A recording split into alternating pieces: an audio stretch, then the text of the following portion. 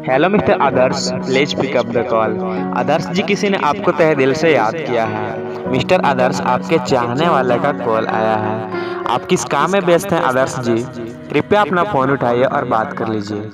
Mister आदर्श, कोई आपको urgent call किया है? कृपया एक नज़र अपना फ़ोन पर दीजिए।